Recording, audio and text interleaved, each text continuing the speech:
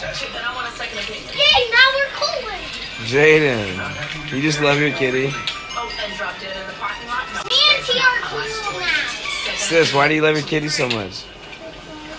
Because- Because I didn't answer.